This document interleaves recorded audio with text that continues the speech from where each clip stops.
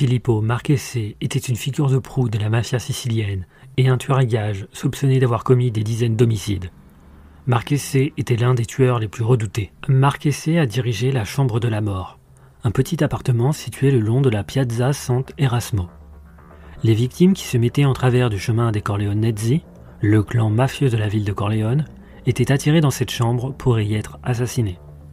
Leur corps était soit dissous dans l'acide, soit découpés en morceaux et jetés en mer.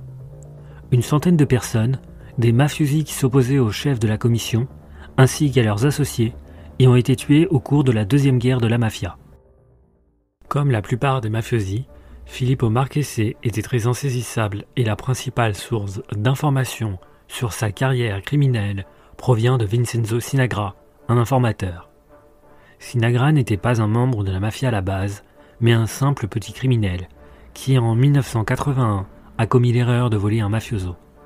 Trois choix s'offrent à lui quitter la Sicile, mourir ou devenir l'homme de main des Corleonezzi. Il choisit la troisième option et finit par travailler avec Marchese dans la chambre de la mort. Sinagra été arrêté le 11 août 1982, alors qu'il était pris en flagrant délit d'assassinat. Et après un an de détention, il a décidé de devenir un informateur et a coopéré avec le juge antimafia Paolo Borsellino. Il a témoigné au procès Maxi de 1986-1987, en même temps que Tommaso Buscetta. Sinagra a affirmé lors du procès qu'il était invariablement chargé de tenir les pieds de ceux qui mouraient dans la chambre de la mort, pendant que Marchese les étranglait avec une corde. Marchese a été condamné par contumace à la réclusion à perpétuité dans le cadre du procès Maxi en 1987, bien qu'il soit mort à ce moment-là. Marchese avait été un atout précieux pour les Corleonezzi pendant la deuxième guerre de la mafia. Par la suite, sa nature violente n'a plus été d'aucune utilité. Il l'a désigné comme une menace potentielle pour le leadership des chefs de la commission, Michele Greco et Salvatore Rina. En septembre 1982, Filippo Marchese a été conduit dans un entrepôt par Salvatore Montalto. Il y a rencontré ses compagnons d'infortune, Pino Greco, Giuseppe Giacomo Gambino et Salvatore Cucuzza, qui l'ont rapidement saisi et étranglé.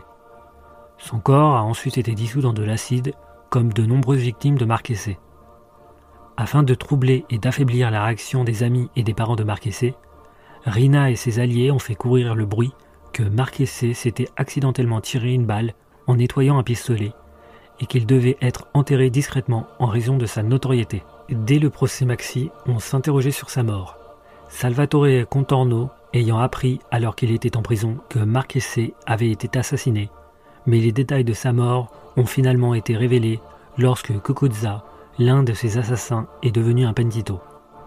L'assassin de Marchese, Greco, a lui-même été tué en 1985 par deux de ses propres hommes sur ordre de Totorina, son sous-patron Vincenzo Puccio et un lieutenant Giuseppe Lucchese qui est devenu plus tard le chef du Mandamento Brancaccio Ciaculli, après que Puccio ait été tué par Giuseppe Marchese en 1989, alors que Puccio était en prison.